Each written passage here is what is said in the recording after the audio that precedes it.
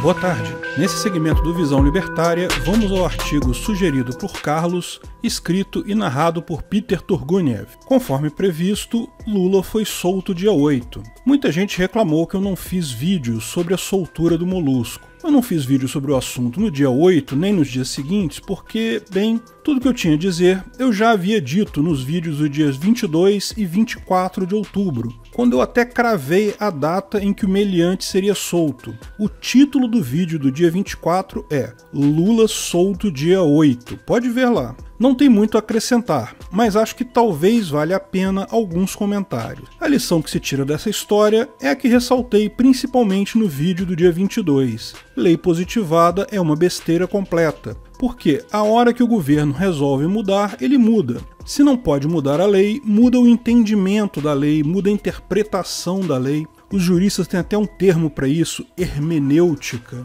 No final das contas, nada importa. O país é um circo e todo mundo que acredita em governo, Estado, país é um bando de palhaço otário que está aqui só para pagar a conta das lagostas do STF. O caso mais claro é o parasita Gilmar Mendes, que sinceramente é difícil de acreditar a cara de pau a capacidade do cara de mudar de opinião tão radicalmente em poucos meses. Bastou algumas pessoas do PSDB serem acusadas, o PSDB perder a eleição de 2018, para o cara rever totalmente a sua visão de mundo. Pode ver a diferença do discurso dele na última vez que o assunto foi tratado e agora. Não se trata de mera mudança técnica de posicionamento. Por exemplo, a parasita Rosa Weber tem um ponto bem claro para ter mudado de opinião. Ela sempre disse que era garantista, que só estava seguindo o entendimento anterior da corte. Estava claro para todos que, no momento que o voto fosse sobre o tema em abstrato,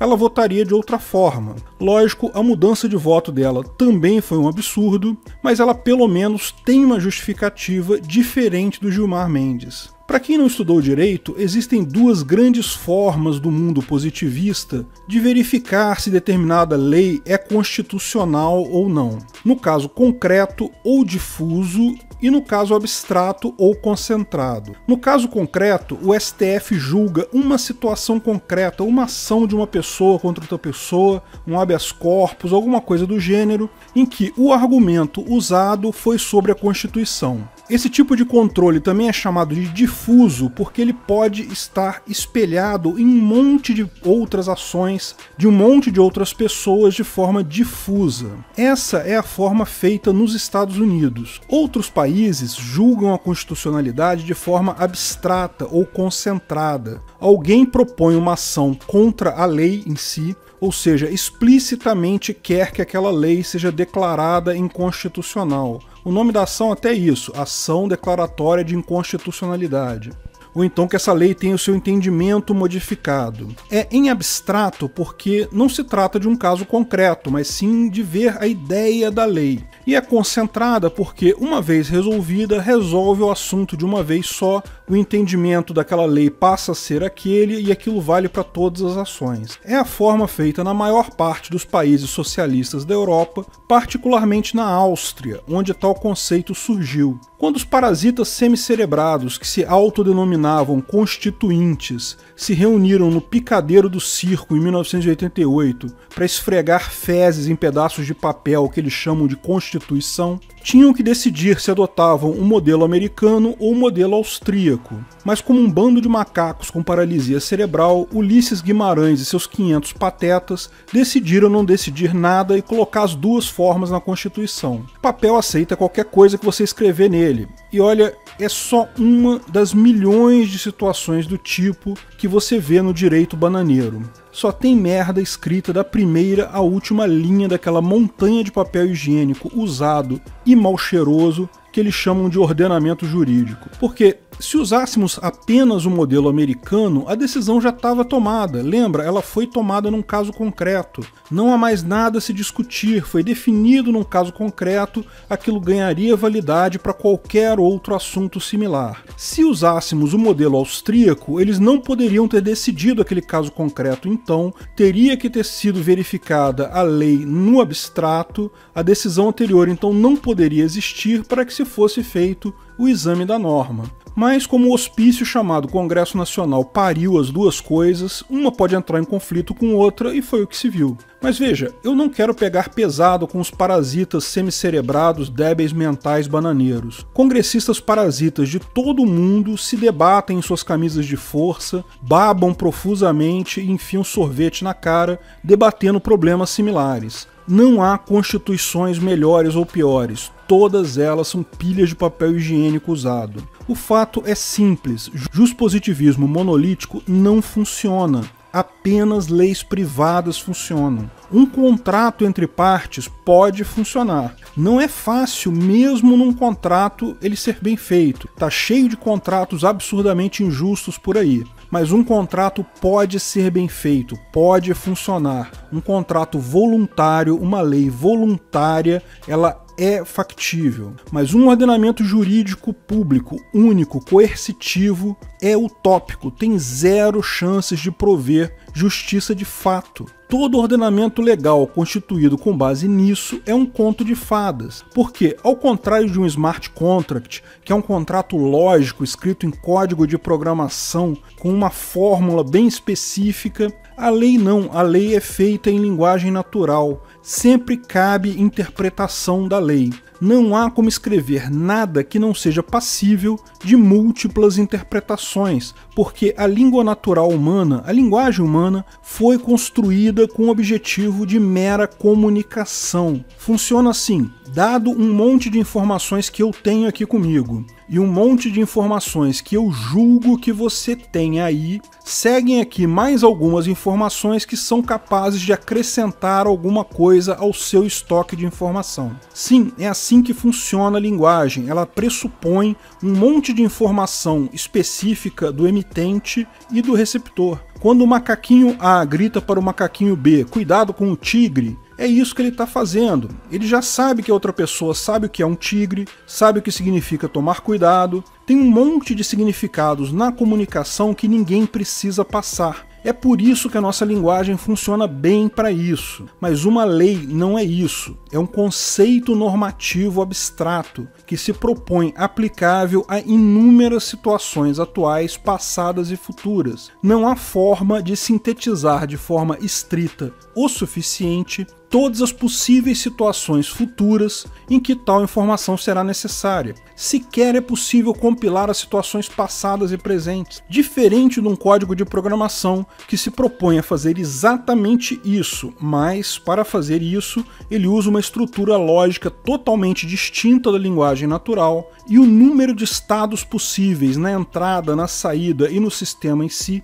é extremamente baixo comparado com o que se faz em leis. Bom, mas isso é chover no molhado. Eu já tinha apontado esse fato que a lei, no final das contas, é só usada como um joguete de poder. Não, o Estado não são as leis, o Estado são as pessoas. E como diz Hobbes, se o homem é o lobo do homem, de quem foi mesmo a ideia de fazer um governo com um monte de homens para resolver esse problema? Bem, lembre-se, se for para ferrar você, meu camarada fudido, ou a mim que também sou um fudido sem costas quentes, ela vai ser interpretada da forma mais estrita possível com arma na sua cara. Mas quando é entre eles, os ricos e poderosos aristocratas brasileiros, a nobreza brasileira que se transmutou da realeza no alto funcionalismo público, nos cargos DAS, nos ministros e primeiros escalões, fica tranquilo que sempre vai haver um Gilmar Mendes com a espinha dorsal moral de uma Maria Mole derretida para resolver o problema deles. E se você acha que mudou alguma coisa porque Bonoro entrou lá, eu tenho uma má notícia para você.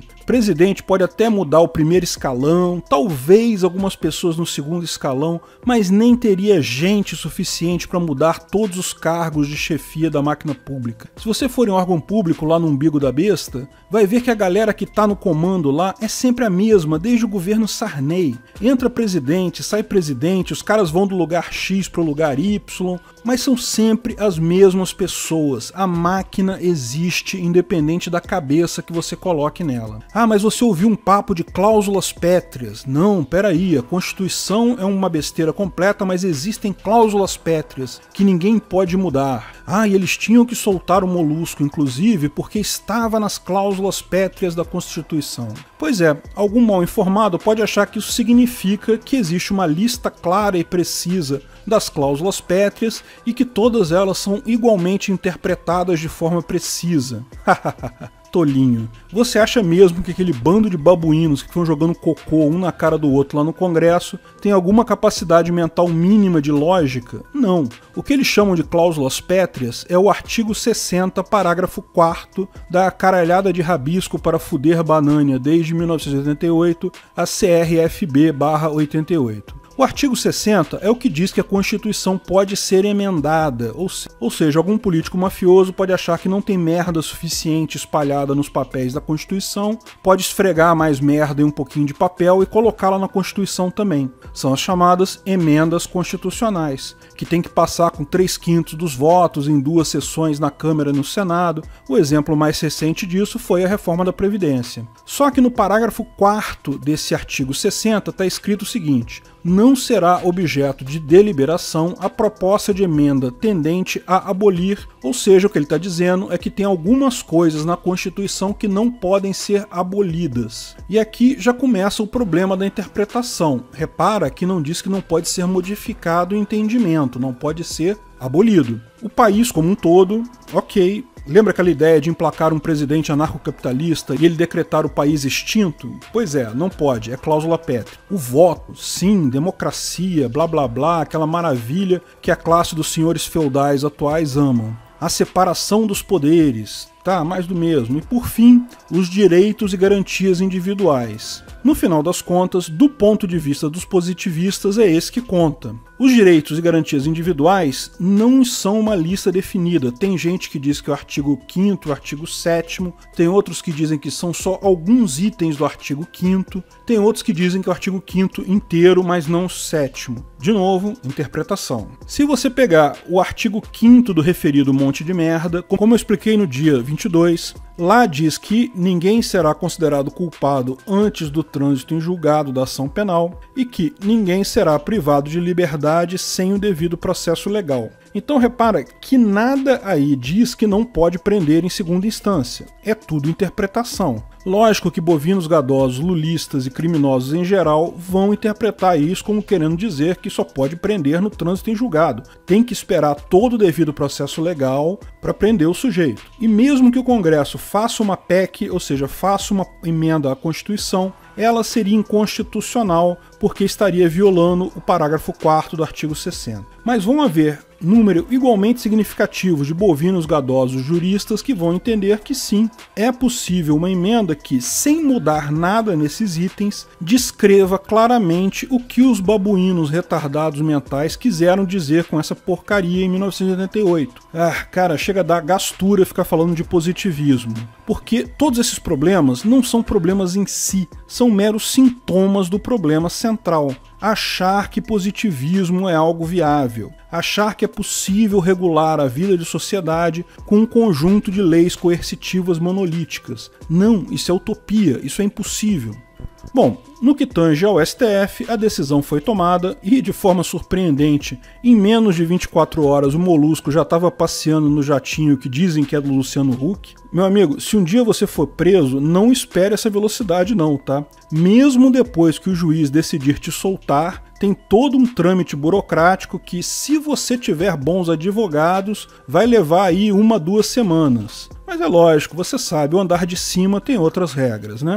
Bom, tem gente querendo pressionar o Congresso para mexer nesse vespeiro. Acho pouco provável o Congresso mexer nesse caso. Lembre-se, todo mundo ali é cliente potencial dessa decisão do Supremo. Todo mundo ali tem telhado de vidro. Muitos vão dizer que querem para ganhar votos. Não, eu defendo uma PEC para prisão em segunda instância mas não querem de fato mexer nisso. Então não espere nada do Congresso. O STF pode mudar de posição de novo em 2021, quando alguns parasitas ali vão se aposentar, Bonoro pode indicar outras pessoas e, e pode haver um novo julgamento nos moldes desse e mudar a decisão. Mas vai acontecer isso? Eu acho pouco provável. A pressão para eles mudarem de opinião agora foi grande e interna, foram grupos de pressão internos. Não vai ter esse nível de pressão para mudar de volta. Grupos de pressão em Brasília têm sempre muito mais poder, mesmo que as enormes manifestações de rua. Não tenha dúvida, nos protestos contra Dilma só calhou das duas